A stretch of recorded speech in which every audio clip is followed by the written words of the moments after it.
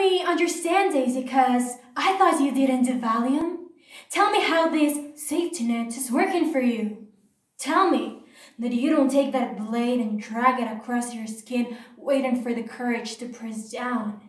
Tell me how your daddy helps you cope with that. He'll eliminate me, I bet, with every inch of his manhood. They didn't release you because you got better, Daisy. They just gave up. You call this alive, huh? Taking daddy's money, buying your dollies and your knickknacks, eating his fucking chicken, fattening up like a prize fucking heifer? you changed the scenery, but not the fucking situation.